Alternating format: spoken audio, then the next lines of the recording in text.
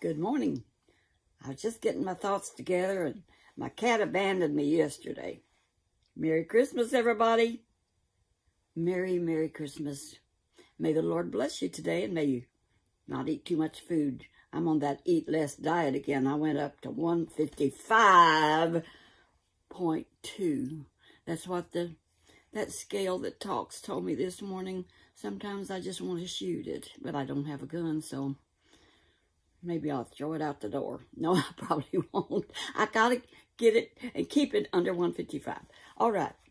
So Bella is here with me this morning, and we're just having a blast. I've been watching Jared TV and his lovely wife, the Queen, talk and last night, but I didn't stay up. I had to play it this morning. I go to bed early. I went to bed 7 o'clock. I'm 90, kiddos. And I got a comment today that says, and those stories really happened. Well, yes, sir, they really did. I was there. I'm going to tell y'all today about, I was going to tell you about Kathy, my other twin, that had a pretty interesting love story. But I'm going to tell you about Mama and Papa. Buddy's number ones, mom and dad. They were from La Follette, Tennessee, down there near Cherry Bottom. And uh, anyway, everybody knows where Cherry Bottom is, right? no, they don't. And I found out. Don't you like this hat? I just have, I just love hats. But I don't wear them too much, except in church. Sometimes I do because those lights are so bright and they hurt my eyes. And the sun hurts my eyes. Tell you what, I'm going to take it off and just show you how this looks. I'm fixing my wig right now. Alrighty. We didn't get no snow, so I'm wearing white today. Anyway, back to number one's mom and dad. He was a coal miner for 32 years. And the coal mines fell in on him two different times because they dug, they had to wear the lamps, you know, on their head and dig with uh, diggers, some kind of spike somehow or other. They had to dig the coal out. And sometimes the, the ceiling would just collapse on him. And he got hurt really bad the last time, right before they moved up here to Indiana. And Mama Baird, bless her heart, number one, had a sister that was a disgrace to the family. And Mama was so embarrassed and their name was ruined. She had two babies out of wedlock, a boy and a girl. And the shame was so pitiful back in that day that she says, I am moving away from this. And she found her a house in Indiana. And they bought it sight unseen. And they moved. And so when they moved up here, away from that shame, don't you know she fathered them? The daughter did about a couple of years later which was quite disappointing to Mama, but it worked out well in the long run. It really did. She was a good Christian. Mama loved the Lord. I got a lot of stories I could tell you about my mother-in-law from Tennessee. She was a pistol. I just loved her. Papa, not so much. He got on my nerves. I just, but he was all right. I don't want to badmouth anybody, especially my children's grandfather, but he got hurt really bad and he couldn't work. So when I met number one, he was working in town in a, a bakery and uh, supporting them a lot. And they they could hardly make it. And after I married Buddy, we used to take them groceries because they were on commodities and, and they didn't. If you know what commodities is, it's very little food.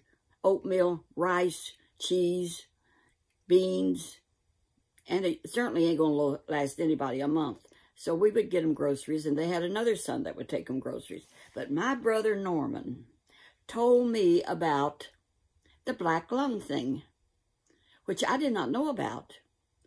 Well, I investigated the black lung thing, and that was in the very beginning, back in, in the early, let's see, I married in 1950 to number one, June the 30th, 1950. I've been married a lot, but I'm a heavy woman. Anyway, Black Lung was going to provide money for those that were really hurt. And so Papa never drove a car, never had a car, and we called him Papa. So I loaded him in the car because Buddy was working all the time, number one was.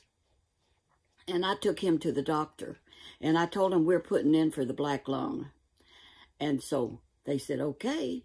So they took x-rays of his lungs, and they were bad because he had inhaled that stuff for years, 32 years, and he passed. He got the black lung money, and he got back pay. A miracle of God that Norman told us about. It was wonderful. They put, well, out there in Memphis where they lived, they, or no, they were, had moved on into town some then. But by that time, she didn't have a bathroom. They had outside toilet. And she was able to get a washer and dryer. Talk about a happy mammal. She was a happy woman. And she could have some chickens because she could never afford to buy chickens. You have to buy them, you know, and proof that they're, you want to buy just females mainly. Very, very few roosters because you want the hens, they lay eggs. And I tell you what, she fell so in love with her chickens that she wouldn't go back to Tennessee and visit because she couldn't leave her chickens. She's as bad as my Kim, who has got chickens. You know the one with the, the bossy one with the long-legged chicken that guards his Miss Gracie? The other day when she was over having dinner at our house, we had a bunch of people in Saturday, and she said, well, Mom, I got to get home and put the chickens up. You got to take care of the farm. Two acres. I don't want no acres. Don't want no chickens. I get free eggs anyway. I'm blessed. So anyway, Mama and Papa moved up here, and then they got the black lung. They could have a better life. Mr. Government provided it, but do you think those mines would give anything to them? No. When we was on the evangelistic field, me and number one, we held quite a few revivals down in uh, coal country. And when we was at one church, it was a coal miner town. It just had houses in a row everywhere. And those coal miners came to the revival. And one of them said, we want to take you to the mines and show you what it's like, uh, you and your husband. So I said, okay. And you know what? It was kind of like the spring of the year. And the poke salad was this tall. Look, this tall. Poke salad. Y'all know what poke salad is? It's a green that I cook. I got a special recipe for poke salad. I'll have to give it to you sometime. Anyway, I picked poke salad and made poke salad on the motor, on the trailer. It was the fifth wheel. We had our 45-foot fifth wheel then. And I picked that poke salad and cooked it right on my trailer. Anyway, we went into, we went to that mine and they all greeted us. The miners was glad to have the evangelist and his wife come see that. I was a lot younger then. But we had to lay down on this flatbed thing like a wagon. And you rolled back into the mine. And it gave me claustrophobia. It was, and they're in there all the time. And they lay and they dig and dig. And that's the way they were doing it. And this one miner told me that was come to the revival. He said, you know, we make a hundred dollars a day. And that was big pay back then. That's nothing now. Fact is, every time number one goes to buy something, to fix something on one of his houses, and he has houses. He he fixes them up and sells them and rents them, and he has a lot of fun with that, and I, God bless him. I, I'm not too interested in it that much. And when he gets to working on curtains, you can he puts curtains up in these houses he fixed. You know I change subjects suddenly. Follow me. He was just recently putting curtains up in this house that he bought one in back where I live which belonged to my friend that was not a Christian for years. She was so mean. But you know what? He was doing curtains. I got to finish this. Then I'll tell you about Laura. But anyway, he was working with curtains and curtains. And I do not get involved in his curtains. He has no curtain sense, in my opinion. And I told him, I said, I'm not helping you with curtains. If you don't do it my way, we don't do it. So yesterday I went up and walked through where he had put curtains and stuff. You know what? He did a darn good job. I like fell over. Best he's ever done. He always puts curtains in his houses because he's getting ready to either sell it or rent it. Whatever. I don't care what he does with them. I told him when I married him, I said, honey, I have enough funds to keep you up in case you go broke. So don't worry about whatever you do. And I don't worry about whatever he does because I get my insurance and my Social Security. How much do you need? I don't need no money. More, more money. I need money, but not a whole lot. You know, it don't take that much. It does nowadays, though, because like I say, he complains. Everything he wants to buy is, he said, you know those loaves used to be $2.30, and now they're $5. That's right. And groceries, and I told him just recently, you know what? I got to have more grocery money because he gives me grocery money and that's only his duty as a wonderful, sweet husband. So he raised it a $100. That was good. Now I can buy all the eggnog I want. That stuff is expensive. Wow. It used to be about half the price it is now, too. That's life. Oh, yeah. So I am getting so many nice compliments from you kind people. Jared, and I somebody else called T-Bones. I tried to look up his, I couldn't look up his YouTube thing, but he featured me also. Bless his heart. I just love them people. Let's get the word out about Jesus because, honey, time is coming on to an end for me for sure. You know, we're in, we're in the sunset of life and enjoying it because one day at a time. That's what we have to do and trust the Lord. And that's what I do is I trust the Lord. I really do. I'm serious. Jesus has been my companion. The Holy Spirit is my companion. And he leads and guides and directs us in the path we should go. And I just want everybody to know Jesus. So just give your heart to Jesus. Tell him you're sorry for your sins. Truly repent. And he will hear you he can hear you anywhere, anywhere. And I praise the Lord for that because I pray for all y'all.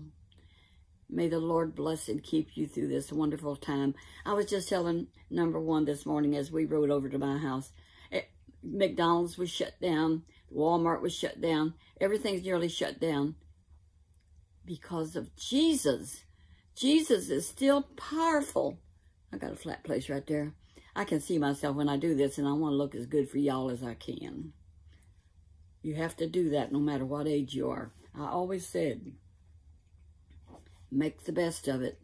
Do the best you can with what you got.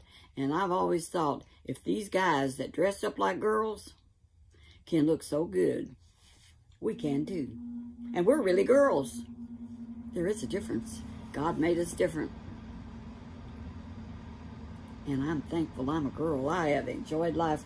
I had seven brothers and one sister, and one sister's gone, one brother's gone. And I miss them, especially my sister. And God is good, so trust Him. Enjoy your Christmas with family and friends. And may the Lord bless you. I better shut this down. It's been fun. Thank you for your comments. And JT, J, Jared. I don't know who JT, that's somebody that's been making comments, I think. I tell you, so many people have been making comments and they're so pleasing. It's such a joy to read them that you do. You can listen to It's amazing. It's a miracle of God that I can talk and that many people can hear you. Can you believe it? Wow. I'm impressed. Well, I ought to be. I mean, I guess y'all are too. So have a wonderful day, and may you walk the walk that you need to walk to be pleasing to Jesus. Love you. Bye-bye.